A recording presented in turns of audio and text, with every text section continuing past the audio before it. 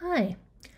One theme that arises from studies of how causality is discussed in health discourse by the general public is a framework of myth busting. This lightning talk looks at the ways that the debunking of health and nutrition concepts is presented in American English. I show a steady use of speaker one upsmanship as I examine what we can see about assumptions on the causes of health and illness that are presented as newly discovered information to be added to the common ground. In earlier diachronic work, including my 2011 IEL presentation, I reported that tropes about catching a cold are evergreen topics in popular culture, with examples of these kinds of repeated myths and counter myths updating going back to the 17th century in English news and literature. Decade after decade, it's presented as a surprising new finding that, in fact, going out with wet hair or an uncovered head will not lead to catching a cold. This can be seen here by the observation by Pepys in 1664, countered by the observation by Ben Franklin in 1771, and with the myth busting continuing on through magazine articles and memes into the current century. But catching colds is not the only health myth whose debunking stays in circulation. As the last two examples show, it's a common mechanism in feature reporting to counter your reader or listener's expectations, and this shows up in peer advice as well. Here I'll look at the range of ways that allegedly new information is packaged as, as myth busting through five mechanisms. These are through meta discourse myth framing, through directive speech acts performed directly such as advising and prohibiting, and by indirect acts by means of behavioral positioning through modals, by appeals to authorities who hold secret knowledge, and most commonly by using corrected expectation markers. These all, I suggest, show up in a continuous cycle of myths and counter myths used in reporting on causality involving food and illness. I'm pulling these examples from contemporary sources reporting on health issues that are produced by those who are not medical practitioners or medical researchers. So these are primarily materials from CADOH, the Corpus of American Discourses on Health.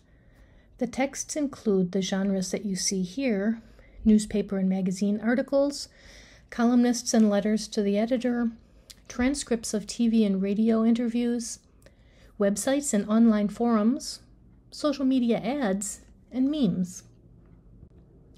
To start with, written material is sometimes marked as myth information through things like section headings, like we saw in example A, where it's labeled Myth of the Month, and also in B, Myths is starting off as a section heading. And sometimes this is also signaled through article titles, as in C and D but this can also just be overtly stated in the prose as we see in E. Does greasy, oily food cause greasy, oily skin? Nope, this is just another myth.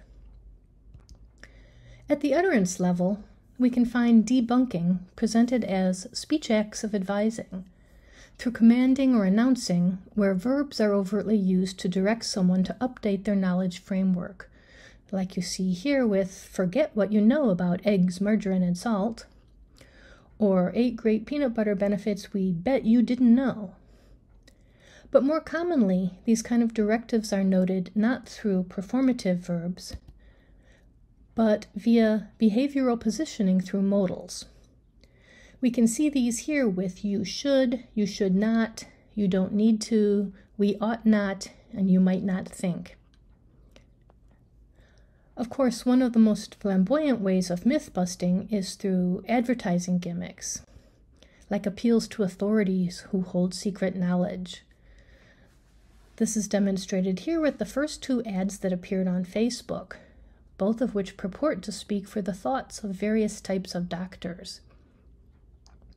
The bottom three are from contemporary news reporting sites and emphasize the secretness of the knowledge. But it's not just internet scams that appeal to elite knowledge, as we'll see in these less flamboyant and more mainstream media examples below. Such as these TV broadcasts that talk about secret knowledge and about things that most people don't realize, or most people don't consider, or what many people mistakenly believe. So, this is kind of an anti bandwagon effect that's found when the reader is allowed to join the smaller, in the know group. But the most widespread forms of myth busting are framed with corrected expectation markers, which is what I'm labeling this group of evidentials, discourse markers, and factive triggers, some of which can be seen here, like, like the word actually, that women with the highest calcium consumption from dairy products actually had substantially more fractures than women who drank less milk. And the notion that you have to overeat a lot of calories in order to gain weight is actually not true. And uses of in reality. But the reality is that the vast majority of heavy smokers will not get lung cancer. In reality, these drugs are killing people. And uses of in fact 90% of Americans are eating more salt than they should, a new government report reveals. In fact, salt is so pervasive that the food supply makes it difficult for most people to consume less. And the fact is, kids are eating fruit because they don't have the option of eating candy. These also show suggestions about newly discovered information that notes what knowledge is current now.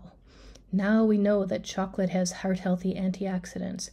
We have discovered that stress cover causes your body to release hormones that raise blood pressure. The last example on this page includes several of these devices.